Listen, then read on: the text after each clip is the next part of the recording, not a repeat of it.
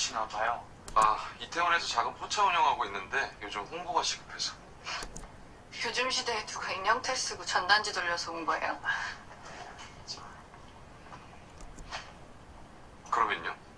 아, 죄송해요. 얘가 그 뭐야, 사회 부적격자라 사장님이 조금만 참아주세요. 아, 그건 알고 있고. 정말 궁금해서요.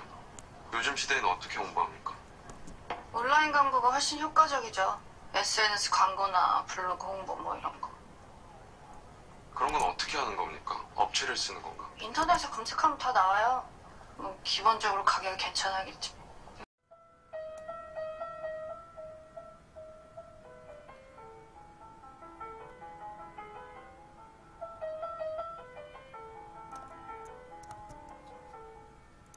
오늘도 랜선 수강생 여러분 많이 오셨네요. 네, 첫 질문 받아보겠습니다. 네, 여기서 많이 뵌 분이네요. 네, 마케팅의 워너비, 온라인 마케팅 활동 지금부터 알아보겠습니다. 온라인 채널은 마케팅에서 얼마나 오프라인을 대체하며 성장세를 지금 타고 있을까요? 먼저 유통 채널별 매출액의 추이를 볼까요?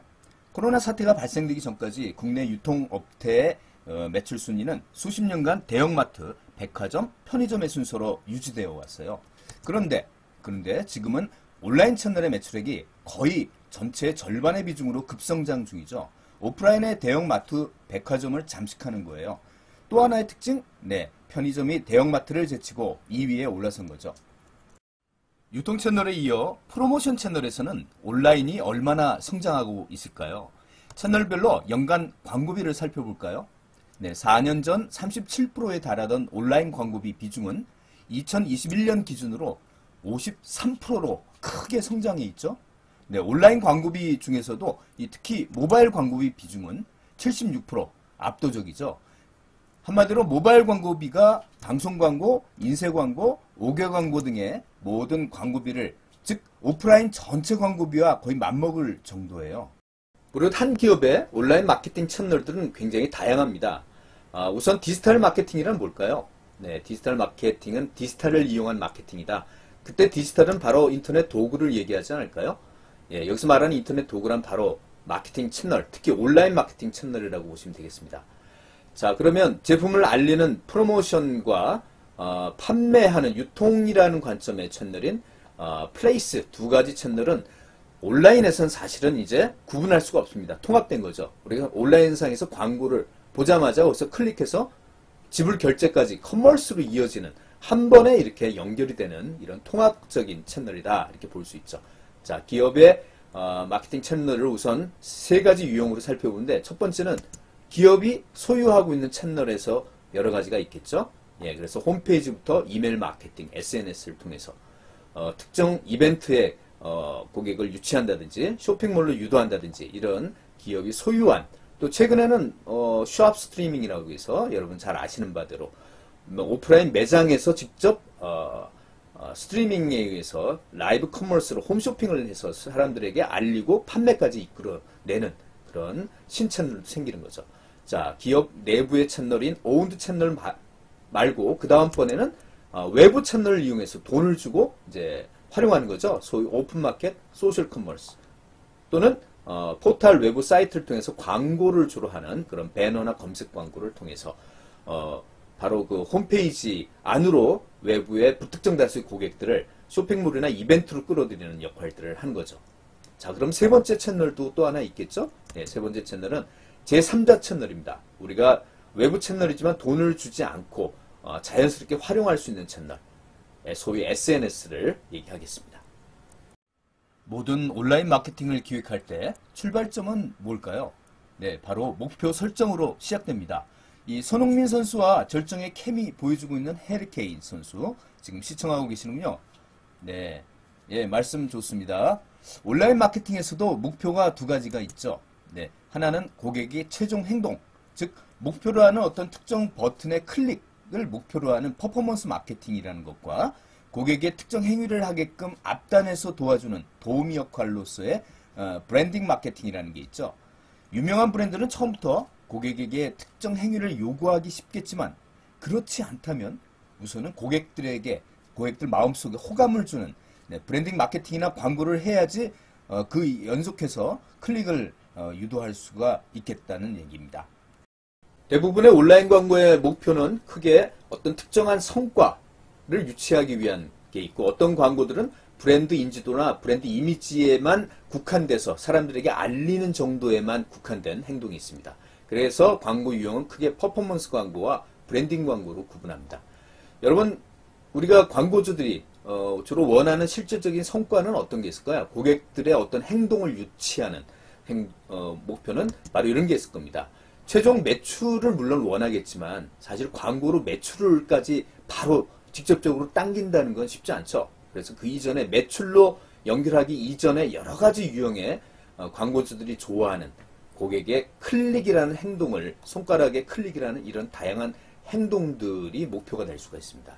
그래서 각 그 기간별로 특정한 행동들을 선정해서 어, 그에 따른 뭐 키워드 광고 같은 걸 해서 이제 타겟팅을 먼저 하는 거죠. 이런 퍼포먼스를 유도하기 위해선 특정한 사람들에게만 어, 타겟팅을 해서 이런 성과를 유치하는.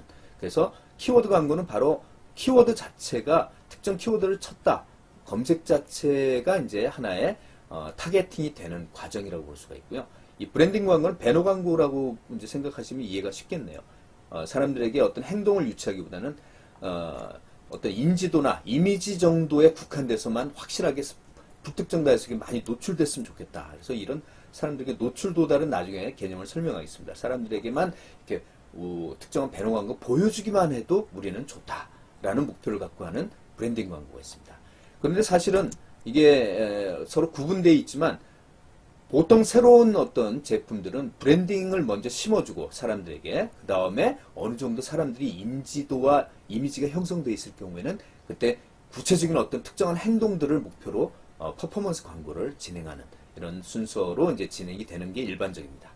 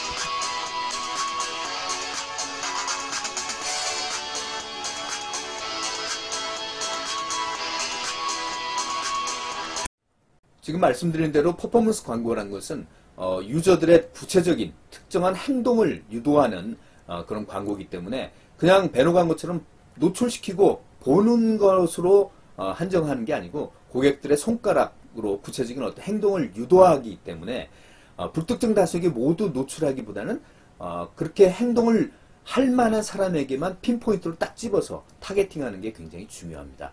이런 타겟팅은 광고주 입장에서도 광고비를 아낄 수가 있고요. 매체사 입장, 광고를 대행해주고 집행해주는 이 매체사 입장에서도 어, 이런 효율성이 높아야지 높은 광고비를 청구할 수 있기 때문에 양자의 공통 과제, 바로 이 타겟팅이 굉장히 중요한 어, 겁니다. 자, 기존의 오프라인 광고의 타겟팅 방법은 어떤 게 있을까요? 어떤 광고물을 제작해서 특정한 사람들, 타겟층에게만 이걸 어, 보이도록 접근하는 어, 구체적인 방법들은 크게 두 가지 정도 있지 않을까 싶어요. 매체로 일단 사람들을 타겟팅하는 거. 자, 우리 고객들은 주로 어, 2호선 뭐 어떤 버스 지역대 어, 광고면 어, 버스 노선 광고 해서 특정한 사람들 층만 볼 수 있도록 이렇게 매체로 하거나 아니면 TV에서도 특정한 프로그램 어, 혼- 나 혼자 산다. 우리 싱글층이 타겟층이라 그러면 나 혼자 산다의 앞에 CF에 들어가도록 이렇게 해서 그 사람들 위주로만 보게끔 매체로 타겟팅하는 게 있고 두 번째는 소재 타겟팅입니다. 이 소재라는 건 광고 내용 자체를 어, 뭔가 차별화시켜서 그 원하는 타겟층만 딱 볼 수 있도록 그네들만 주목해서 볼 수 있도록 이렇게 조정하는 방법이 되겠죠. 자, 이런 방법들이 있지만 어, 그- 그래도 오프라인 광고는 정확하게 어, 우리가 원하는 타겟층에게만 딱 전달하는 데는 한계가 있습니다. 그 타겟층 아닌 다른 사람들도 볼 수 있는 여지가 많다는 거죠. 그래서 이제 바로 온라인 광고는 바로 이런 부분을 정확하게 구분해서 타겟팅을 할 수 있는 장점이 있다는 것을 꼭 강조하고 싶습니다. 온라인 광고의 타겟팅 방법 네 가지가 지금 나와 있습니다. 여러분 그 지역 인구 통계 변수, 관심사, 특정 제품 행동 이런 네 가지를 보면 어디서 좀 어, 본 듯한 기시감이 들지 않나요? 네, 우리 세분화 변수 STP 마케팅 관리 시간에 배운 STP 할때 어, 세분화 변수는 크게 네 가지가 있다고 배웠죠. 그래서 지역 어, 인구 통계 변수를 예전에 많이 사용해 왔는데 최근에는 주로 이런 관심사, 즉 라이프스타일 변수와 특정 제품에 대한 고객들의 행동 이 두 가지 변수를 더 많이 사용한다라고 우리가 이미 배운 바 있습니다. 온라인 마케팅, 온라인 광고에서도 이 네 가지를 갖고 타겟팅을 하네요. 지역 타겟팅이라는 건 바로 우리 IP 주소 있잖아요. 네, 이 IP 주소가 바로 지역별로 이렇게 구분이 되어 있기 때문에 이를테면 분당의 어떤 치과가 네이버 검색 광고를 한다. 그러면 광고 노출 그 설정하는 단계에서 구분을 해주면 돼요. 어, 성남시 지역만 이렇게 on을 해주면 어, 선별적으로 경기 지역, 뭐 성남 지역만 딱 이렇게 노출이 되겠죠. 이 검색 광고가. 이게 모바일 광고를 진행한다 그러면 실시간 위치 정보 때문에 더욱더 시간과 장소로 연결해서 저- 정교한 마케팅, 타겟팅을 할 수가 있는 장점이 있겠네요. 자, 인구 통계 특성은 뭐 페이스북 예를 들어볼까요? 우리 보통 로그인한 상태에서 사용하는 이 페이스북은 기본적으로 우리가 회원 가입할 때 제공해준 회원 정보를 기반으로 타겟팅을 정교하게 할 수 있는 장점이 있겠죠. 그 다음에 뭐 관심사 타겟팅은 어떤 게 있을까요? 관심사. 라이프스타일 변수라고 보통 얘기를 하죠. 여러분들이 웹페이지에서 막 돌아다니는 흔적은 사실은 어, 이걸 보는 웹사이트 어, 입장에서 보면은 다 여러분의 관심사를 어, 파악할 수 있는 단서가 된다는 거죠. 그죠? 우리가 어떤 콘텐츠에 클릭을 했다든지 어떤 반응을 보인 내용은 대부분 다, 아, 이 사람이 요런 데 관심이 있구나. 그럼 우리의 다양한 관심사들을 획득하고 또 거기다가 추정을 해갖고 굉장히 다양하고 정교한 우리의 관심사들을 갖게 됩니다. 이, 이런 페이스북이나 이런 매체에서 결국 이런 걸 바탕으로 이제 고객들의 타겟팅을 해서 이제 광고주들을 우리에게 연결시켜주는 작업을 하는 거겠죠. 그 다음에 특정 제품에 대한 고객들의 행동. 지금 지역 인구 통계 변수 관심사는 그 사람에 대한 아, 내용이죠. 근데 요거는 이제 그 사람이 특정 제품에 대해서 어떤 행동을 보이느냐. 뭐 이런 이를테면 웹사이트에 방문한 이력이라든지 오늘 장바구니에 그냥 담아놓고 구입은 안 하고 나갔다. 그러면 이 사람들에게 그 다음날 어, 다가온 거죠. 리타겟팅을 해서 어, 이 사람이 다시 서버에 들어와서 이제 좀 어, 컴퓨터를 켜고 어딘가 저 어, 돌아다니고 있다. 그러면 그 사람에게 불쑥 어, 칸투칸이라는 어제 칸투칸의 어, 옷을 구입 안 하고 장바구니에 담은 그 브랜드를 딱 배너 광고로 보여주는 불쑥 보여주는다든지 이런 타겟팅을 한 거겠죠. 최근에는 유사 타겟팅이라는 것도 있어요. 이거는 어, 기존 고객에 그냥 고객에게 직접 하는 게 아니고 그 사람과 유사한 고객에게만 광고를 노출하는 그러니까 기존 고객 정보를 이용해서 어, 기존 고객과 유사한 고객에게만 선별적으로 광고를 노출하는 아주 기발한 생각이 되겠네요. 결국 최근 타겟팅 광고에는 이 AI도 활용된다는 점, 그래서 원하는 타겟팅을 어, 자동으로 찾아주기까지 하는 어, 이런 마케팅에 이 AI가 역시 대체하고 있다라는 느낌을 지울 수가 없네요. 네, 랜선 수강생 또 한 분 질문 받아보겠습니다. 네, 보통 개인들 사업하면서 온라인으로 기본적으로 깔고 하는 광고 방법이 두 가지가 있죠, 사실은. 네, 그거를 한번 지금부터 말씀드려 보겠습니다. 네, 지금까지 많이 쓰고 있는 두 가지 방법, 배너 광고와 검색 광고라고 하는 이 두 가지를 갖고 한번 비교해 보겠습니다. 자, 여러분 우측에 다음이라는 이 웹페이지를 보시면 포털 사이트에 front page, 첫 페이지에 보시면 이렇게 어, 빨간색으로 된 부분, 광고가 설정되는 이 부분을 우리가 inventory라고 그럽니다. 광고 영역이라고 하죠. 네, 참고로 알아두시면 좋겠고요. 자, 그럼 배너 광고라는 건 우리가 보통 디스플레이 광고라고 하기도 하는데 어, 주로 어떤 막대, 띠 형태를 구성하고 있다라는 얘기죠. 그래서 클릭을 하게 되면 보통은 어, 특정 홈페이지, 광고주 홈페이지 내에 어떤 특정 제품 상세 페이지라든지 아니면 그 홈페이지에 제품 특정 제품의 이벤트 페이지로 이렇게 landing page로 연결이 된다는 거. 그 다음에 요새는 다양한 형태의 이제 광고가 배너 광고들이 있는데 rich media 광고라는 것도 있어요. 요거는 어, 다른 페이지로 이동하지 않고 그외 배너 안에 동영상과 사운드가 추가돼 갖고 배너 안에서 이벤트나 회원 가입을 어, 유치할 수 있는 그런 이제 특이한 형태의 배너 광고가 되겠습니다. 다른 곳으로 이동이 안 된다는 거죠. 그 다음에 마우스 조작에 따라서 마우스만 갖다 대도 배너가 이제 변형을 일으켜서 다양한 형태로 우리에게 정보를 제공해 주는 것 재밌게 그런 것도 있고요. 클릭을 안 해도 이제 동영상이 그냥 나오는 영화 배너 광고에서 많이 나오죠. 예, 무클릭 배너라고 하기도 합니다. 자, 그러면 브랜딩의 주요 수단이라는 게 바로 이 배너 광고의 어, 특징이 되겠죠. 특정한 행동을 어, 떤 클릭 행동을 요구하는 게 아니고 사람들에게 노출시켜주는 것 까지의 목적. 그래서 원하는 목적은 뭐예요? 예, 특정 상품의 브랜드 인지도와 어떤 이미지를 형성시켜주는 그 정도까지만 목적을 하는 브랜딩이다. 그 다음에 어, 근데 최근에 광고 효과는 감소하는 추세다. 뭐예요? 스마트폰이라는 화면이 작은 이런 거라는 스마트폰이 나오고 그 다음에 SNS news feed, 페이스북 이런 데 광고 같은 게 경쟁 광고가 아, 더 사람들의 주목을 받는다든지 그 다음에 컨텐츠 안에 광고가 들어가는 native 광고 뭐 이런 것 때문에 사람들은 이제 배너 광고가 좀 성가시다 이런 느낌으로 어, 지금은 검색 광고에 비해서 어떨까요? 인기가 점차 네, 줄어들고 있다 이렇게 보시면 되겠습니다. 이번에는 배너 광고에 비해서 어, 광고비도 좀 저렴하고 그래서 효율적으로 광고비를 집행할 수 있고 여전히 인기가 유지되고 있는 검색 광고 알아볼까 합니다. 자, 남자 옷이라는 키워드 검색 결과에 쭉 나타날 때 상단에 파워링크라는 여기 여러 가지 제품들이 나오죠. 네, 여기 나오는 회사 제품들이 바로 배, 검색 광고를 이제 집행한 회사가 되겠습니다. 보통 배너 광고는 어, 모든 사람들의 포털 사이트에 뜨지는 않습니다. 나름대로 그 제품, 해당 제품의 타겟 집단의 특성에 맞는 어, 사람들 어, 포털 사이트에만 이렇게 타겟팅돼서 배너 광고가 뜨는데 검색 광고는 어떻게 타겟팅 할까요? 바로 그 타겟팅의 역할은 이 키워드가 해준다고 볼 수가 있는 거죠. 키워드, 남자 옷이라는 키워드와 관련된 어, 사람들에게만 어, 이렇게 파워링크의 특정한 제품들의 이런 검색 광고가 나타나게 된다, 노출이 된다는 그런 얘기입니다.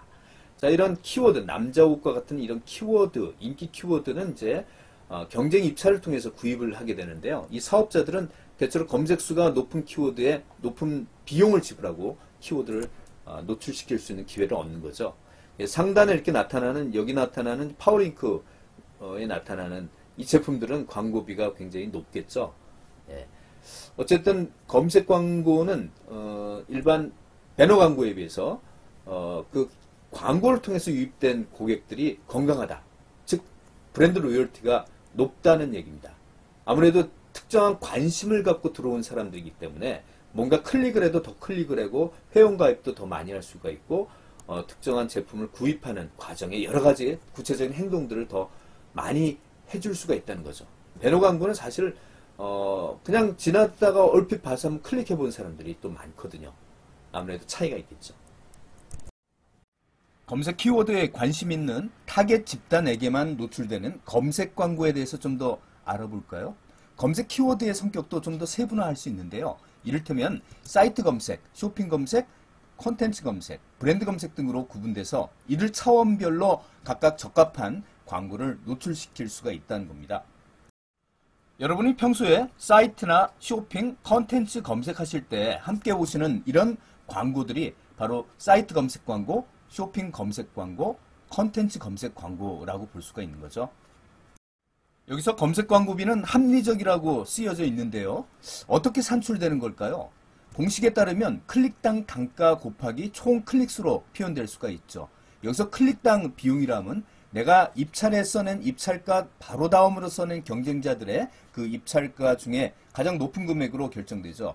한마디로 내 입찰가를 초과하지는 않는다는 건데요. 물론 이 과정에서 네이버 나름의 광고 품질 기준도 반영되나 봐요.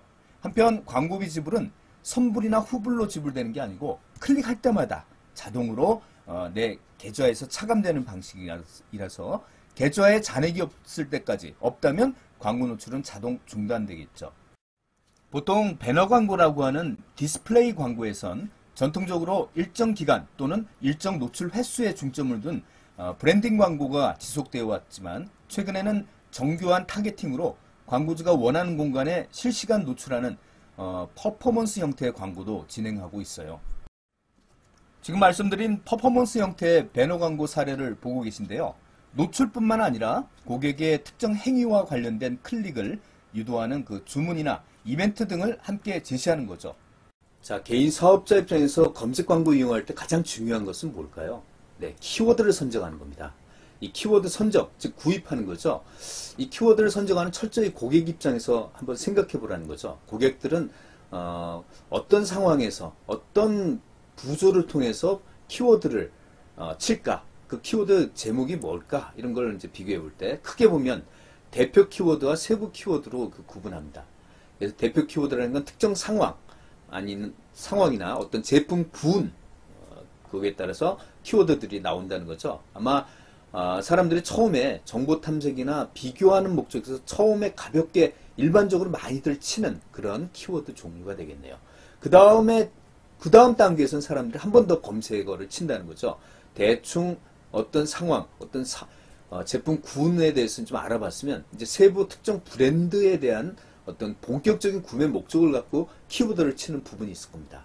바로 우리가 여기서 연극으로 보면 어떤 연극을 보, 보고 싶었던 상황이 있다는 거죠. 데이트 상황에서 연극을 한번 볼까? 그럼 맨 처음에는 대표 키워드로 최근 연극, 연극, 연극 추천 뭐 이런 정도로 크게 한번 키워드를 어, 포괄적으로 한번 쳐보고 대충 한번 훑어본 다음에 이제는 약간 구매하는 쪽으로 예매하는 방향으로 들어가서는 특정 연극, 어, 특정 어, 구체적인 연극 키워드로 이제 쳐서 들어오는 거죠. 좀 더 상세 설명을 해보면 맨 처음에 사람들은 어떤 특정 상황에서 이제 어, 관심사별로 키워드를 치게 되는 거죠. 이를테면 셔츠다. 그러면 가을에 이제 이 가을을 맞이한 아 가을에 셔츠를 하나인지 구입해야 되겠는데 코트가 필요해. 남친 선물 생일 선물로 옷을 한번 해줄까? 그런 상황이 있다는 거죠. 큰 포괄적인 키워드는 바로 이 상황별로 나타난다는 거예요. 그 다음에 이제 한 번 더 한꺼풀 더 내려가면 이 판넬별로 더 구체적인 카테고리 어, 키워드가 나오겠죠. 가을 셔츠에는 mac coat, 뭐 가을 코트에는 어, 블루 트렌치 코트 이런 제품 군 단위별로 이제 한 번 더 내려가는 거죠. 최종적으로 이제 어, 특정 제품 군에 있어서 mac coat 계열, 체크 셔츠 계열에서 구체적인 브랜드를 한번 쳐보는 그 다음 단계의 구체적인 키워드들이 나타난다는 거죠. 어, 베사프라는 브랜드가 있나 보네요. 제가 만들어 본 겁니다. 예. 자, 그래서 여러분 키워드 설정이라는 거, 키워드 구입은 한꺼번에 많이 키워드를 어, 설정하고 구입을 할 필요가 없어요. 조금씩 조금씩 확장해 가면서 그 성과를 확인해 가면서 어, 다른 걸로 교체한다든지 좀 더 세부적인 더 다른 키워드를 구입한다든지 이렇게 단계별로 접근하는 게 바람직합니다. 왜? 온라인 광고는 그랬죠? 광고 효과를 구체적으로 측정할 수 있기 때문에 측정해 가면서 어, 피드백을 받아가면서 해보자는 거죠. 이런 방법으로 여러분 키워드 어, 고민하실 때 참고하실 수 있는 이런 여러 가지 도구들을 어, 제시해 봤으니까 나중에 한번 참조하셔서 사용하시기 바랍니다. 보통 검색 엔진을 담고 있는 그 포털 사이트에 어, 나오는 이 검색 광고는 다른 매체 대비해서 경쟁이 치열할 수밖에 없습니다. 왜냐하면 아까 네이버, 뭐 다음 이런 포털 사이트에 뚝 검색어를 치고 나오는 그 파워링크에 여러 다른 경쟁사와 함께 아, 노출이 되기 때문에 그 여러 어, 제품 속에서 눈에 띄는 게 중요하겠죠. 대신에 페이스북 같은 경우에 광고를 보시면 이 Sponsored라고 나오는 페- feed, news feed 게시물 사이에 나오는 이런 과- 광고들은 어, 여러 경쟁사와 쭉 나래비 돼서 나오지 않기 때문에 경쟁이 치열하다고 볼 수가 없잖아요. 어쨌든 눈에 띄는 게 중요하다. 역시 차별화가 중요한데 차별의 방법은 크게 세 가지가 있다고 합니다.